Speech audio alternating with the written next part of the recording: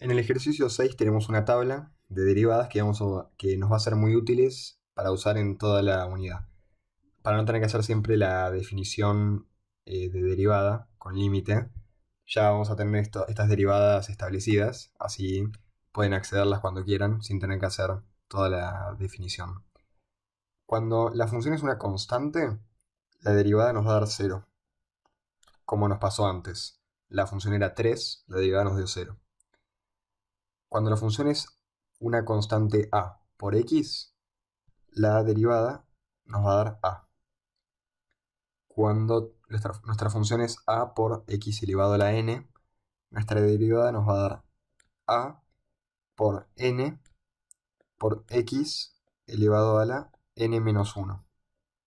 Cuando la función es e a la x, la derivada no va a cambiar, es e a la x.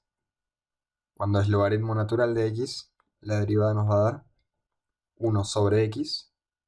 Seno de x, la derivada es coseno de x. Y coseno de x es menos seno de x. Ojo con el signo ahí.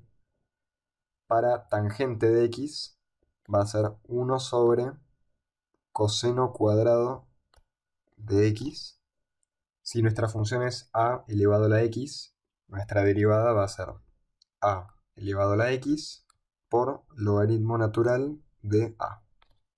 Y si tenemos logaritmo en base a de x, nuestra derivada va a ser 1 sobre x por logaritmo natural de a.